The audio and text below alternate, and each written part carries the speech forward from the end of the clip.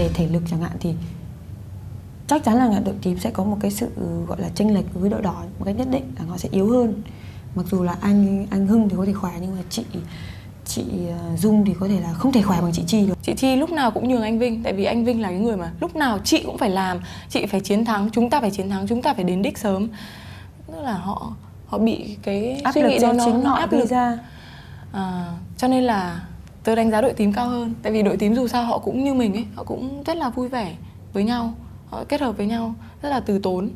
Còn đội đỏ bây giờ thì mặc dù là đang nắm trong tay uh, thẻ ưu tiên nhưng mà họ lại bị cái bất lợi là họ đang bị bỏ xa một khoảng thời gian cũng khá là lớn. Tới đồng thời tới họ là còn không phải có đối tiền. mặt với cái việc là họ không có tiền uh, không có khoản tiền nào cho các trận uh, chơi tiếp theo cũng là cái thử thách rất là lớn đối đội đỏ. Đến thời điểm thời điểm này thì Vinh vẫn thực sự không có để ý tới những đội khác. Và Vinh chỉ để ý là đội mình hôm nay đã thi đấu ra sao? Nếu tốt thì mình sẽ phải phát huy như thế nào? Nếu không tốt thì mình phải tìm ra những cái lỗi để chặng sau mình có thể khắc phục được nó và mình tốt hơn thôi. Lúc đó tớ sinh đến về về Việt Nam là lúc đó là Harry buồn nhất. Tại vì có nhiều chỗ miễn thuế xem tôi nhiều thứ đẹp lắm. Không đủ tiền không có tiền. Rất là khó hiểu về đội đỏ.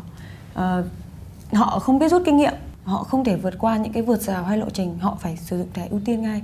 Nhưng mà chính vì họ quá ngang bướng họ cứ muốn giữ cái thẻ ưu tiên không biết là để làm gì cho nên rằng là cứ vì là cứ cố gắng làm cứ cố gắng làm cho nên rằng là họ càng bị tụt lùi ở phía sau. Bây Thì- giờ là khoảng cách giữa đội của Lâm Anh và khoảng cách giữa đội đỏ ở trong chặng sau là 3 tiếng.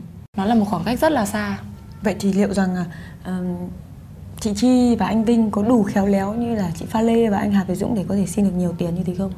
tại thời điểm này mình đánh giá là đội tím rõ ràng là có ờ, có cơ sở để nghĩ đến việc lọt vào top kết. 3 đội cuối cùng